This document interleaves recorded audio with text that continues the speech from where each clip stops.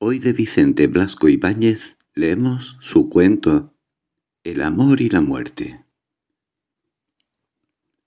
Vicente Blasco Ibáñez fue un escritor, periodista y político republicano español, propulsor del naturalismo y del realismo. En torno a su figura y al periódico El Pueblo, fundado y dirigido por él, se desarrolló en la ciudad de Valencia un movimiento político republicano conocido como blasquismo. Ahora vamos a dar comienzo a este interesante cuento, que espero que te guste. El amor y la muerte por Vicente Blasco Ibáñez Con gran frecuencia ocurren los llamados crímenes de amor. Relatan los periódicos casi a diario sucesos dramáticos en los que hiere la mano impulso de los celos. Describen suicidios en los cuales una vida se suprime fríamente, abandonando las filas humanas por miedo de la soledad. Después de las dulzuras del idilio, por el desesperado convencimiento de que ya no podrá marchar sintiendo el contacto de la carne amada, roce embriagador que mantiene lo que algunos filósofos llaman estado de ilusión y ayuda a soportar la monotonía de la existencia. El amor y la muerte Nada tan antitético, tan opuesto, y sin embargo los dos caminan juntos, en estrecho maridaje, desde los primeros signos de la humanidad tirando uno del otro, cual inseparables cónyuges. Como marchan a través del tiempo la noche y el día, el invierno y la primavera, el dolor y el placer, no pudiendo existir el uno sin el otro. «Te amo más que a mi vida», dice el jovenzuelo despreciando su existencia apenas formula los primeros juramentos de amor.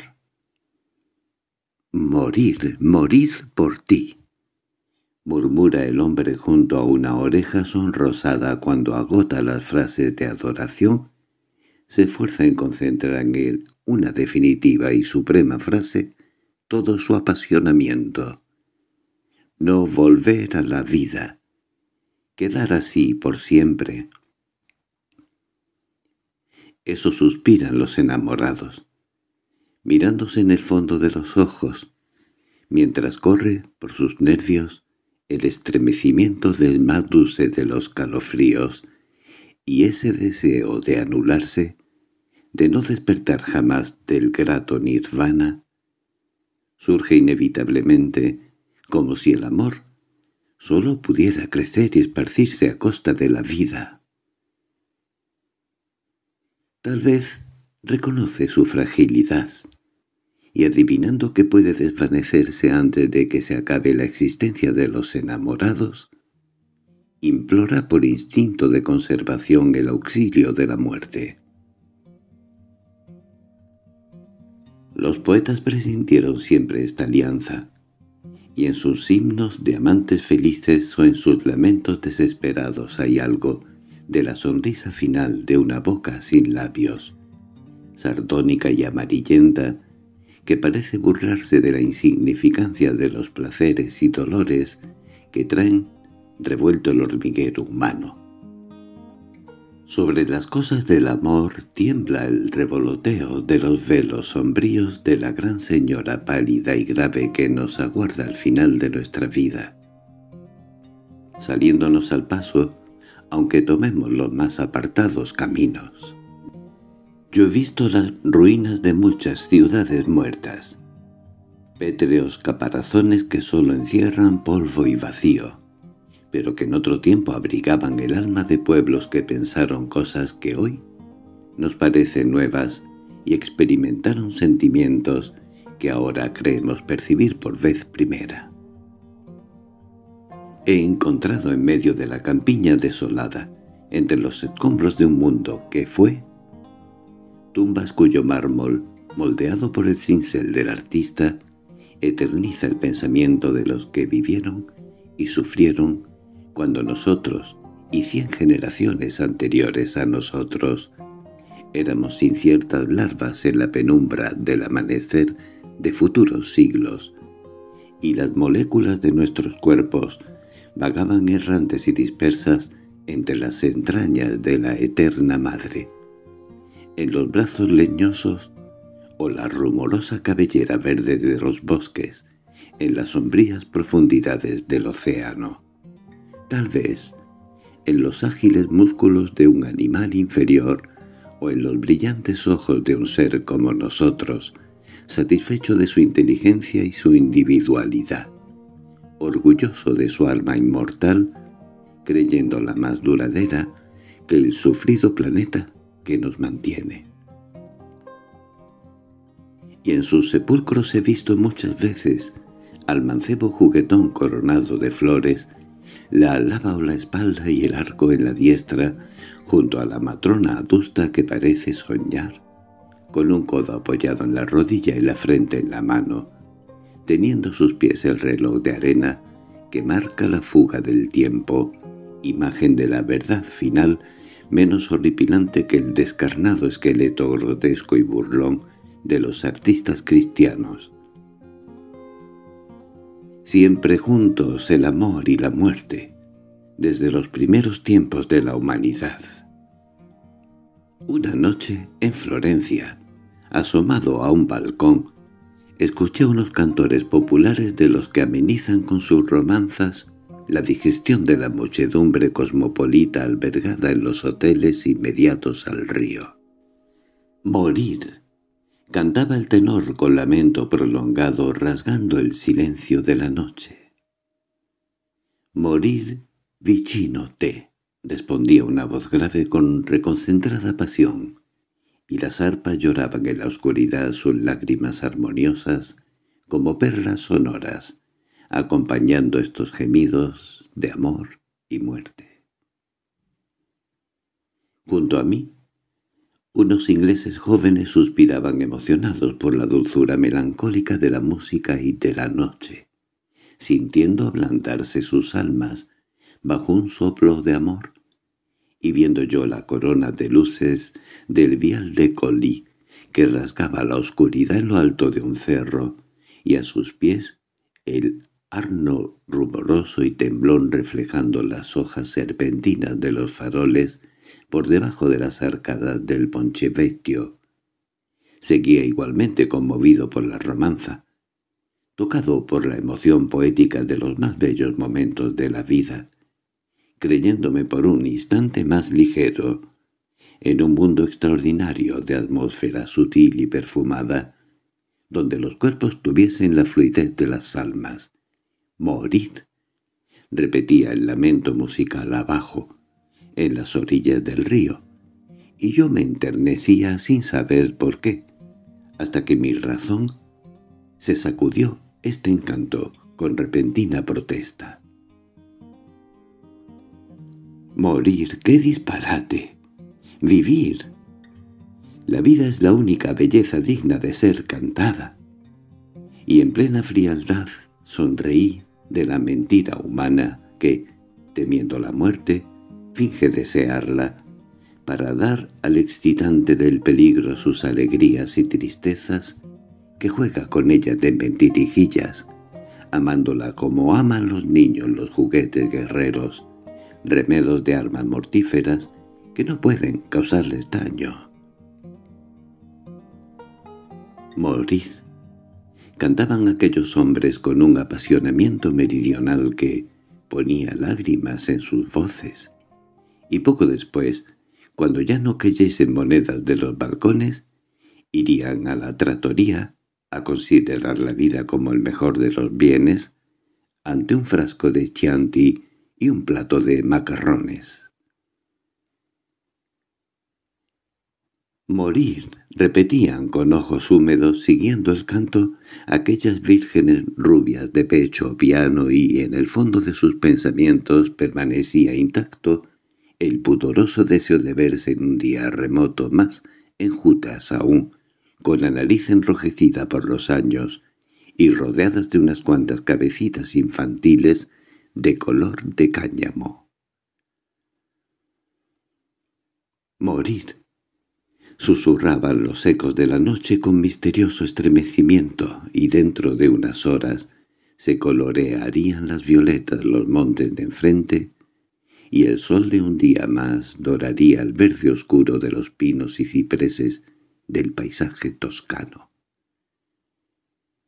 Entonces, reí de ese sentimentalismo que invoca la muerte para proporcionar una emoción nueva y dulce a sus ansias de vida. Otra vez en pleno verano, vagando por los alrededores de París, llegué a los jardines de Robinson, con sus grandes árboles, cuyo ramaje abriga como nidos las áreas cabañas que sirven de comedores.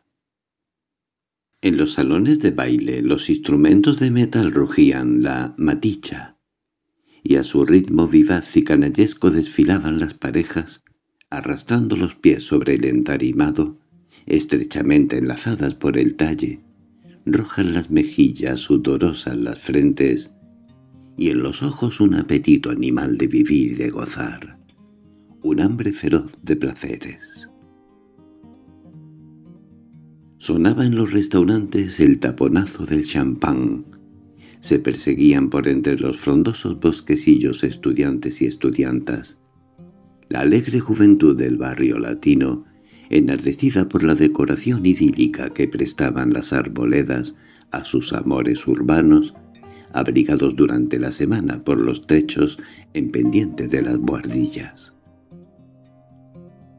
Algunas parejas elegantes bajaban de sus automóviles, y las miradas de las pobres muchachas iban con fulgores de envidia tras los susurrantes vestidos, los empenachados sombreros y los ricas boas de las grandes damas. Llevadas por una curiosidad exótica hacia ese pequeño mundo, de locura campreste.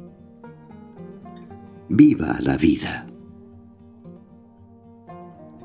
A la puerta de un restaurante, unos vagabundos italianos entonaban una romanza melancólica, semejante a la de Florencia, pero que parecía deshonrada por el lugar, lejos del dulce paisaje en que vio la luz, cortada a trechos por los chillidos del cornetín del vecino baile, interrumpida por el trotar de los borriquillos aguilones de Robinson y los gritos de las muchachas, que se bamboleaban sobre la silla próximas a caer, mostrando sus piernas con el impudor del miedo. Morir. Cantaban también esos pordioseros acompañados por el grave bordoneo de una guitarra. «Morir por ti», gemían dirigiéndose a una amante desconocida, con ansioso apasionamiento, como si fuese el mayor de los placeres renunciar por ella a la existencia. ¡Oh! ¡Qué irritante mentira! El amor y la muerte aparecían en este ambiente ridículos y miserables como esas bellezas delicadas que abandonan la dulce penumbra de los salones y se muestran al aire libre bajo la cruda luz del sol. Una pareja pasó ante mí. Estrechamente cogida del brazo, andando lentamente, aislada en medio del bullicio, insensible a las impresiones exteriores. Su felicidad era silenciosa. La llevaban reconcentrada dentro de ellos, sin otra manifestación extrema que el dulce fuego de sus miradas que se buscaban acariciándose. Era la pareja vulgar y tierna, eterno modelo de los novelistas desde los tiempos de Morgar. Los dos amantes del barrio latino, a cuyo amor dan la pobreza y las incertidumbres del porvenir, una dulzura melancólica. «Si tú me abandonases querría morir», decía él con voz grave. Ella sonrió incrédula, dejando de mirarle para fijar sus ojos en el baile inmediato. «Morir». ¿Quién pensaba en esto? Ella amaba a la vida sobre todas las cosas. «Vivir. Tonto», murmuró. «Vivir. Vivir, tonto. Vivir para querernos mucho, tonto». Él la envolvía con una mirada ávida, con tierno egoísmo masculino. «Sí, vivir contigo, pero si algún día me dejases, si algún día te perdiese». Se alejaron. Morir. Seguían cantando los vagabundos con desgarrador gemido. «Morir», repetían las cuerdas de la guitarra gravemente. Y fue en vano que los cornetines rugiesen más alto, la canallesca marchita, que chillaran las muchuchuelas perseguidas por audoces manos y los cantores del amor y la muerte fuesen con el sombrero en la mano implorando una limosna, cayendo de golpe de las melancólicas de la romanza a la miserable mendicidad. Todo lo contemplé de un modo distinto. Creí que otra pareja pasaba ante mí, la eterna, la que vive desde que la humanidad sintió algo más que la punzada del estómago hambriento y la cólera homicida de la bestia, que necesita matar para existir, la que está esculpida en mármoles a los que los siglos han dado la amarillez del ámbar, la que ha pasado las puertas de los poetas y los artistas en horas decisivas para marcar su trabajo con el sello de la inmortalidad. El arrogante arquero, coronado de rosa, sella, pálida y ceñuda con el reloj apoyado en los potentes pechos, de los que manan el olvido y la nada marchando tras el jovenzuelo, como un amante vieja, sumisa y recelosa, que teme perderle. A pesar de lo vulgarísimo del ambiente, mi emoción fue más intensa que el dulce misterio de la noche florentina. Fin